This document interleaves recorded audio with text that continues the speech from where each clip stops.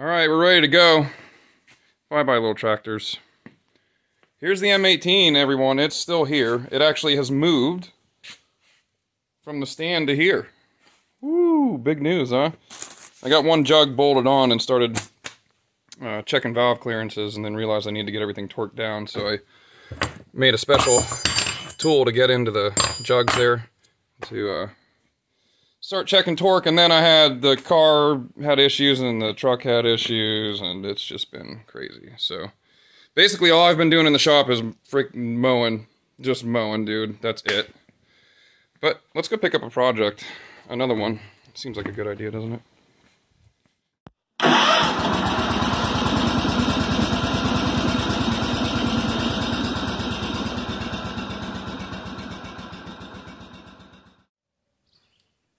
Hey everyone, and uh, welcome back to the channel. It's been a couple weeks since we really posted anything. It's been a super hectic spring.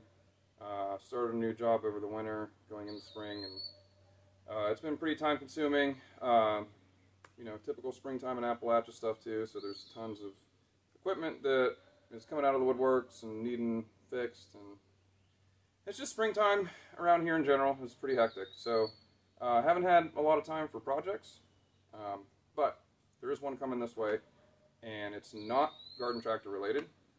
It's um, it's truck related. There's a 64 F100 custom cab, uh, 292 with the three-speed automatic that we are going to go pick up. Uh, my stepdad found it. He's wanted to work on uh, restoring a vintage car, and I found it uh, a week ago. He went out there and took a look at it. Said it looked amazing, uh, like pretty much all original. It was cheap, so um, we were we were a little skeptical. Uh, I actually haven't seen it yet. He has. Uh, so he went out there and checked it out, and apparently this is a very nice Survivor, 64 F100. So this is the year right before they transitioned to the uh, twin I-beam suspension. Um, so I'm gonna go pick it up. Um, I don't know if, if the guy's got it running. He said he was gonna try. It hasn't been running about five years, and then before that it sat for like 25 years or 20 years or something. So. Uh, it's got 66,000 miles on it, and it hasn't run very much. Um, so I brought the typical, you know, will it run stuff. I got battery, I got a jump pack, got some fuel, I got some brake clean, and a fuel pump, auxiliary fuel pump with some fuel line, so we can just get it to run up onto the trailer, and uh, some portable air, in we got to air up any tires. So I got the basics there, and um, yeah, I'm gonna take you guys along for the ride. We're gonna go check it out and see if we can get it to run on the trailer. It might be already running when I get there, which would be less fun, um, but we're still gonna get plenty of time to play with it when we get back, so it's not a big deal. Um, so uh, yeah, um, let's uh, let's go for a ride. So no, I'm not towing it with the Ranger. I'm just meeting them there.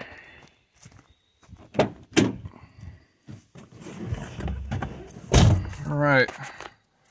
See if I can get you guys set up. And, uh... Oh, yeah, another thing. Uh, in addition to things just breaking, uh, someone cut the cats out of the poor Ranger. I just can't get a break. All right, here we go. I think I got everything.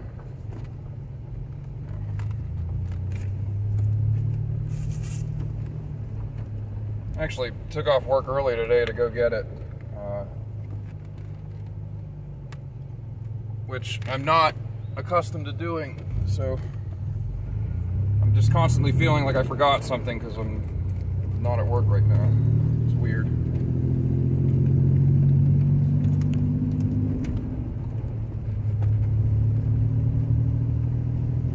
So yeah, um, I've looked and wanted to get a vintage Ford truck back in my life for oh, a while. Um, I've owned several of the um, several of the dent side Fords, the 73 through 79s, and I kind of troll uh, Facebook Marketplace looking for trucks all the time just because I think they're cool and I like browsing for them. But I had found, um, you know, I had found a couple of those and then decided uh, I actually was gonna, I was looking for a project truck for myself this year. And um, when I got the new job, I decided that it was just gonna be too much to try to do it all. Um, you know, picking up a brand new project like this, you know, garden tractors are one thing, but picking up a truck is like you know, that's that's a level of, of dedication to a project that I just do not have right now. Um, you know, my my um, my home and family life is super important to me. I like to have time with my family. Um, I'm not the kind of person that gets home from work and then just heads right out to the shop and plays around. Um, you know, my free time really has to be spent pretty carefully um, because I like to keep a good balance of family and work. And, you know, having time to just tinker around in the shop, and I'm sure that a lot of you can relate to this, um, it just kind of comes last. Because as a, you know, I, to me, it's more important to be a good, uh, to be uh, you know, present and be a good uh, person and support person for uh, all the other people in my life. And um, not to say that I come last or whatever, but you know, I just think it's important to think of others before yourself. And so this is why my projects take forever. Um, so you know, like the um, rebuilding the M18 on uh, the 1882, and that project should have taken me a month or two. And then I tore it down, and it's going to take, it's already past the year, so it's going to take quite a bit of time to get that done. And, you know, I have a, a customer slash friend of mine who has a an engine swap that I need to get done for them. And so actually, when I get this truck back, I'm not even going to really do much to it until I can get this other um, project out and get it back to my friend. So, um, again, you know, take care of. I, like to take care of other people first. So anyway, uh, I looked for a project truck and I found a couple.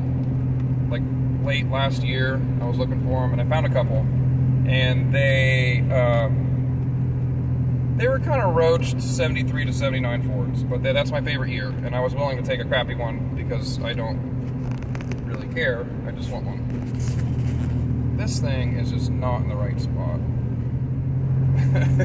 Something sucks. Damn it. Alright. Uh, anyway. Um, so, I kind of gave up on getting a, a truck project, a vintage truck project. Um, but i am a Ford guy, so I looked at the the dent side series, which is like the 73 to 79, and then I looked at the uh, the bump side series, which came before that at 67 to 72. Um, and I never really got much further back than that um, into what they call the slicks, I guess. I just found this out. Uh, the slicks are the 61 through 66. So that's what this truck is. It's kind of the last era of trucks that had a, a, um, a less truck-like appearance. They got like swoopy fenders, and they got cool little like you know, they're, they're a little more stylists. They got more stylish stylistic cues in them as far as the body style goes. But it's great for me. I was looking for a Ford truck and didn't expect to get one, and then I just happened to find one on Facebook and my stepdad went to look at it and he, he's like, it's great. This is, this is our truck. So, um, I'm super pumped. And uh, it's going to be fun because the, the idea with this one is that we're going to drive it. This is not just going to be, we're not doing a full restoration, none of that stuff. I don't have time for it. Um, and he doesn't have the inclination or the money for it. So, um, I certainly don't have the money for it. So, you know, with limited time and resources, we are going to get this thing back on the road and make it safe to drive for, you know, not just somebody who's mechanically inclined, excuse me, but for um, like my mom and my stepdad, sister, my wife. Um, you know, just make it a, a, cool little driver. You know, you want to run down to the hardware store with a, you know, run here, run there kind of thing. It's a truck. You, you, we intend to use it as a truck. Um, so, anyway, um, yeah, that's the plan. And, uh, I know that I've posted a lot of stuff about the garden tractors over the last year or two, and I still am very much into the garden tractor stuff. Um, but like I said, I just haven't had any time to do any of it. And um, so we're going to pick up this truck. We're going to probably take it to uh, a car wash, pressure wash it, bring it back. Um, and then I got a little um, canopy to set it under to keep it nice and dry at least um, until I get enough space in the shop for it. Because right now, you know the state of the shop, it's all garden tractors and, you know, outdoor power equipment. So, got to make some space. Um, so, you know, long term, this will be a running driving vehicle, and then I will get back to the garden tractor stuff too. Um, but with the way things been going this spring, uh, it's not going to be till midsummer, I think, until I get back into having enough time for the garden tractor stuff. Um, and you know, that's fine. It's uh, of kinking my neck. It's it's it's a hobby. So there's an ebb and a flow to it. There's times where you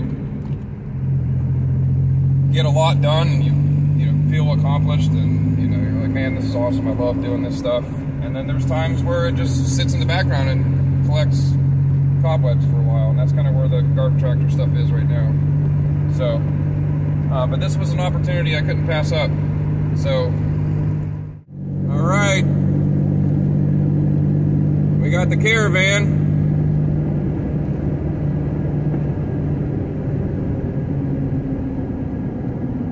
should be about five minutes away, according to my stepdad, so we'll see.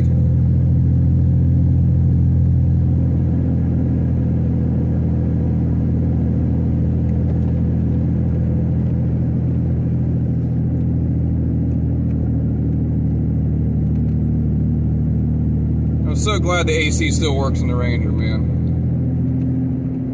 22 years old and it's still got good AC. It's got great AC, actually. It's a hot one today. It's, uh, I think, low to mid 80s. Probably one of the hottest days we've had so far this spring. Last week it was in the 40s and now it's in the 80s. So, you know, that's what you get. Ooh, I see Cub 3000 series.